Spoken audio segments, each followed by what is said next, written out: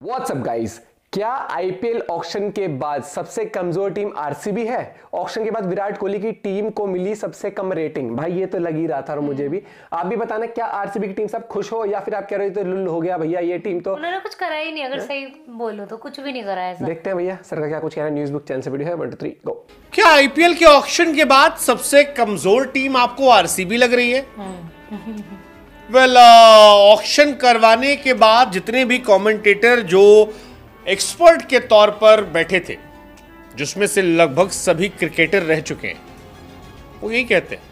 वो कहते हैं गुरु ऑक्शन के बाद सबसे कमज़ोर टीम उन्हें आरसीबी लग रही है. इनफैक्ट आरसीबी के जो पुराने वाले सीईओ साहब थे हाँ वही जो पार्थिव पटेल की तरह लगते थे वो भी अच्छा, कह रहे हैं कि यार विल जैक्स को देकर आरसीबी ने अपने पैर पर कुल्हाड़ी मारी। रोज चल जाएगा वहाँ जाके। जो आरसीबी ने जाता है, हाँ। 119 करोड़ रुपए खर्च किए। सबसे ज़्यादा पैसा हालाँकि उन्होंने हेजलवुड पर खर्च किया 12.5 करोड़। जितेश शर्मा पर 11 crore. Jitesh. 11 crore for Jitesh Sharma. That's quite huge but बहुत सारे एक्सपर्ट्स का मानना है कि सारा मामला सही से खर्चा नहीं हुआ। और अगर हुआ होता तो आरसीबी और स्ट्रांग बन सकती थी। हालाँकि कईयों का मानना है कि आरसीबी ने काफ़ी बैलेंस टीम चुनी है। बहुत बड़े नामों के पीछे इस बार वो नहीं भागे। उन लोगों भागे हैं जो परफॉर्म कर सकते हैं।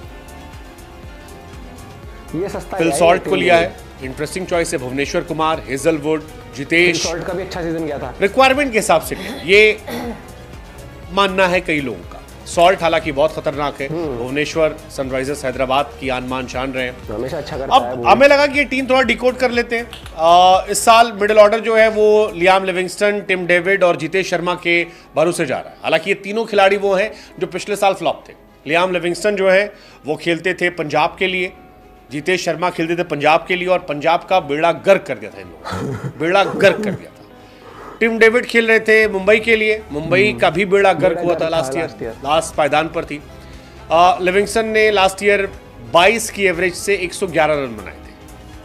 पूरे आईपीएल में 14 मैचेस में। लियाम लिविंगस्टन के बाद जितेश शर्मा ने 17 के एवरेज से 187 बनाए थे और टिम डेविड ने 30 के एवरेज से 241 रन बनाए थे। अब ये तीनों अपनी अपनी टीम से रिलीज़ किए हुए प्लेयर हैं। फिर स्पिन ऑप्शन में कुरनाल पांड्या सुया शर्मा को लिया गया अ, कुरनाल पांड्या डिसेंट बॉलर है मतलब टांग पकड़े गेंदबाजी करते हैं चालाक गेंदबाज है लेकिन विकेट टेकर नहीं है।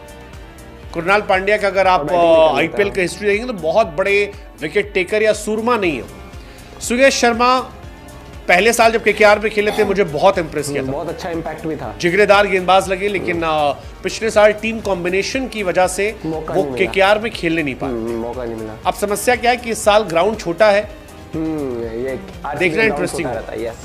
क्या होता है?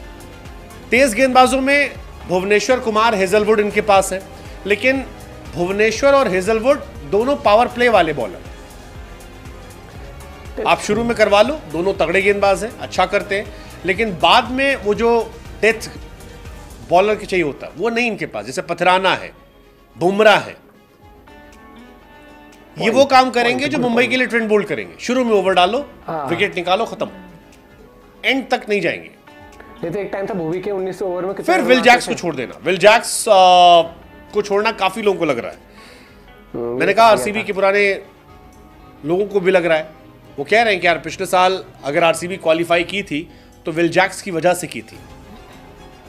लेकिन अब जियो स्टार एक्सपर्ट रेटिंग आई है और उस एक्सपर्ट रेटिंग में आरसीबी को सबसे कम नंबर दिए गए जियो स्टार एक्सपर्ट रेटिंग में जो एक्सपर्ट थे। आ, उन्होंने दिल्ली को सबसे ज़्यादा अच्छी बैलेंस टीम बनाने के लिए 8.8 रेटिंग दी 10 में से। हैदराबाद उनकी सेकेंड फेवरेट चॉइस है 8.2 मुंबई थर्ड पर है 8 पंजाब चार पर है 8 गुजरात को उन्होंने 7.9 दिया है मेरी समझ से परे। गुजरात वाला तो मैं समझ नहीं पा रहा। इसीलिए मैं आरसीबी के फैंस को कह सकता हूँ कि आप भी हौसला रखिए।